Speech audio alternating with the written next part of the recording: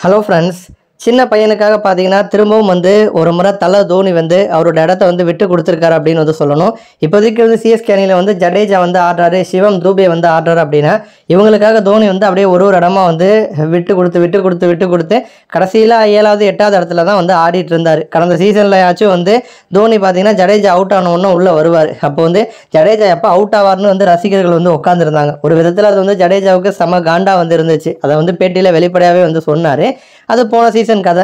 இப்போ இந்த சீசனில் பார்த்தீங்கன்னா தோனி பேட்டிங்கே ஆட வரது கிடையாது. ஏன்னா இம்பாக்ட் பிளேயர் ரூல் வேறு இருக்குது தூபை உள்ளே கொண்டு வந்துடுறாங்க. அந்த மிடில் ஓவர்ஸ்லேயும் பார்த்தீங்கன்னா ரஹானே அதேமாரி டேரியல் மிச்சல் வந்திருக்காரு ஜடேஜா வந்திருக்காரு. போதா குறைக்கு பார்த்தீங்கன்னா சமீர் ரிஸ்வி அப்படின்னு சொல்லிட்டு ஒரு சின்ன பையனையும் வந்து ஏலத்தில் எடுத்து அந்த பையனுக்கு வந்து சிஎஸ்கேல வாய்ப்பு வந்து கொடுத்தாங்க. இந்த குஜராத் அணிக்கு எதிரான போட்டியில் ரஷித் கானை வந்து முட்டாளாக்கி முதல் பந்திலே பார்த்தீங்கன்னா வந்து சிக்ஸை வந்து பறக்க விட்டுருப்பாரு சமீர் ரிஸ்வி. ஸோ வந்து ரிஸ்வி வந்து ரெண்டு சிக்ஸ் வந்து பறக்க விட்டுருக்காரு. ஒரு டிபியூட் கேம்லேயே பார்த்தீங்கன்னா இந்த மாதிரி ரெண்டு சிக்ஸை பறக்க விட்டு எல்லாருடைய கவனத்தையும் வந்து ஈர்த்திருக்காரு. அந்த வகையில் பார்த்தீங்கன்னா இந்த சமீர் ரிஸ்வி அவருடைய பேட்டிங் பற்றியும் தான் எப்படி வந்து அந்த பத்தாவது பத்தொன்பதாவது ஓவரில் களத்துக்குள்ளே வந்ததை பற்றியும் வந்து அவர் என்ன சொல்கிறாருன்னா தோனி தான் வந்து கிளம்புறங்கிற மாதிரி வந்து இருந்துச்சு. ஆனால் நான் வந்து தோனி கிட்டே எனக்கு ஒரு வாய்ப்பு வந்து கேட்டேன்.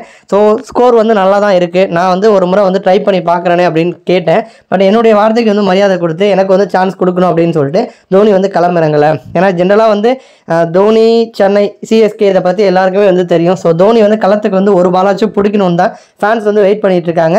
அப்படி இருந்த ஒரு சுச்சுவேஷனில் கூட இறங்குறதுக்கான வாய்ப்பு கிடைச்ச போதிலுமே கூட தோனி வந்து எனக்காக அந்த வாய்ப்பை வந்து விட்டு கொடுத்து நீ போய் ஆடு உன்னோடைய பெஸ்ட்டை காட்டு அப்படிங்கிற மாதிரி என்னை சப்போர்ட் பண்ணி அனுப்பி வச்சாரு. ஸோ அந்த அந்த தோனி சொன்ன விஷயம் தான் எனக்கு செம கான்ஃபிடென்ட்டாக வந்து இருந்துச்சு. ஸோ ஏன்னா என்ன நான் இன்னைக்கு ஆடி ரெண்டு சிக்ஸ் அடிச்சிருக்கேன் எல்லாரும் என்னை பற்றி பேசுகிறாங்கன்னா அதுக்கு காரணம் வந்து தோனி தான் அப்படிங்கிற மாதிரி சமீர் ரெஸ்வி வந்து பேசியிருக்காரு. நன்றி.